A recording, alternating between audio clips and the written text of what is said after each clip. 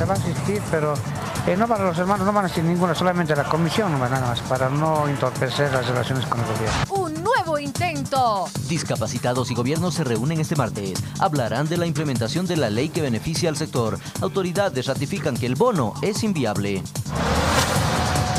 Una negociación tiene que entenderse como concesiones recíprocas y ese es el sentido de ser mediadores buscará mediación. El nuevo defensor del pueblo estrena su cargo. Adelanta que se reunirá con la dirigencia de los discapacitados. Estuvo en la Red 1 y reveló detalles de sus planes.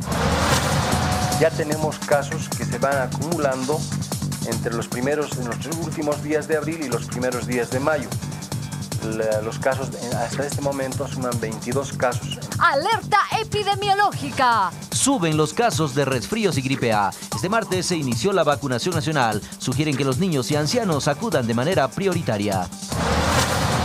Todas las toda la querella las denuncias, las pruebas están en eh, Fiscalía. Conferencia postergada. Las ministras de Comunicación y de Justicia suspenden anuncios sobre el caso Zapata y Valverde. El ministro Quintana dice que es atribución de la Fiscalía a un posible proceso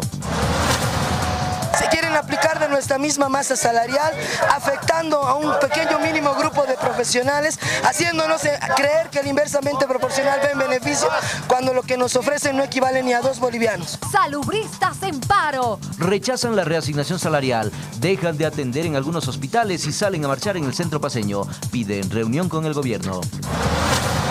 Es que quieren generar nuevos asentamientos toda vez de que nuestros compañeros han ido a dirección de mercados, ¿qué les han dicho? Ustedes tienen que carnetizarse. Gremiales movilizados. Marcharon hasta la alcaldía, rechazan el nuevo plan municipal de carnetización, temen que genere asentamientos indeseados en las calles de la ciudad. Es una construcción sin permiso, aunque tiene eh, el respaldo de esa ley que declaraba de carácter especial esta construcción, ley que a nuestro juicio es anticonstitucional y violatoria de la autonomía municipal. Construcción ilegal. Así califica la alcaldía al nuevo Palacio de Gobierno. Aseguran que no tiene autorización. No descartan interponer una demanda ante el Tribunal Constitucional ya se estaría sacando fecha y hora para el paro cívicos. Cívicos anuncian paro. La FEJUVE del Alto protesta contra el incremento en el precio del pan y el anuncio de subida en los pasajes. Convocan a movilizaciones para el lunes 23. Bienvenidos a Notivisión.